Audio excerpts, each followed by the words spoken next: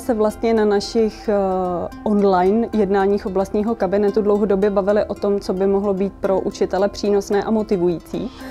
A protože jsme se chtěli potkat prezenčně, vidět se osobně a mít nějakou tu společnou aktivitu, tak jsme vymysleli, že by bylo fajn mít nějakou tu osobnost, se kterou se budeme moci potkat a potom z toho eh, setkání vlastně těžit ve výuce a zároveň, aby to byla aktivita, která dá něco samotným pedagogům, protože oni čtou a zároveň, aby to, co získají, mohli potom eh, předávat svým žákům.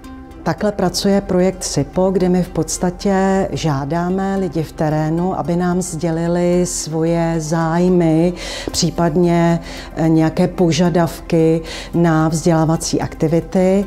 A podařilo se z terénu získat několik velice zajímavých typů a jedním z nich právě byla touha učitelů češtiny setkat se s nějakou významnou spisovatelkou, s významnou osobností, která by je mohla inspirovat k použití použití ehm, něčeho nového ve výuce češtiny nebo literatury. Jedním z těch podnětů bylo právě pozvat paní spisovatelku Alenu Monštajnovou, která je v současné době velice populární a najít společný prostor, kde bychom mohli uspořádat tuhletu akci, bylo opravdu velmi obtížné.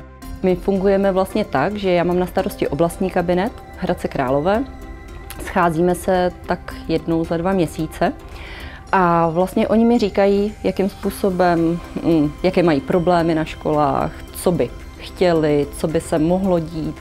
No a my se jim to snažíme nabízet. Pak se sejdeme vlastně v krajském kabinetu a snažíme se navrhnout třeba právě takovouhle akci, jako byla dneska. Využívám knížky Aleny Morčtajnové, eh, jak právě třeba tu slepou mapu k dokreslení situace v dějepisu, k dotvoření, eh, když se tam píše o henleinovcích, aby děti pochopily takovou nenásilnou formou, co to vlastně je. A nebo sice je to pro menší děti knížka, ale Kapka Ája je výborná eh, k obohacování slovní zásoby a my jsme si vytvářeli podobně dělanou knížku, protože ona ta ta knížka je dělaná tak, že je tam příběh o kapičkách a vždycky je tam nějaké slovo, kterému by děti nemuseli rozumět a je to třeba ledovec. A je tam vysvětlené, co to je. Takže my s dětmi hledáme vlastně odborná slova, oni ode mě dostanou slova, musí je najít, co znamenají a musí je potom použít ve vlastním textu. No já jsem hrozně rád, že ta akce vzniká, že se dokázal spojit NPI s krajem a s našimi IKAPama vlastně podporujeme to, aby se děti naučili číst, protože to, že nám děti dneska nečtou, to je fakt.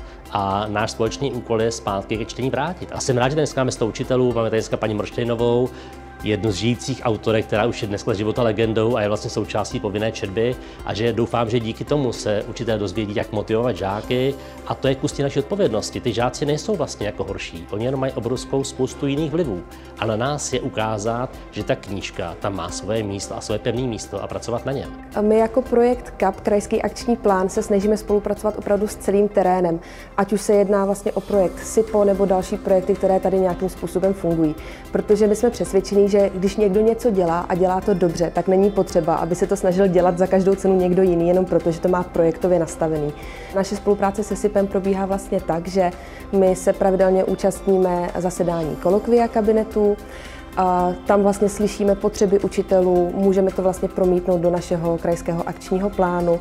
A jedním z těch výstupů naší spolupráce je právě dnešní eh, akce, kdy vlastně jsme měli možnost pozvat sem k nám na krajský úřad paní spisovatelku Mornsteinovou. Je to eh, jedna z těch věcí, kterou my bychom sami asi nebyli schopni uspořádat eh, v takovém měřítku, protože nám trošku chybí ty kontakty přímo na učitele, přímo na češtináře, které naopak si pomáhá.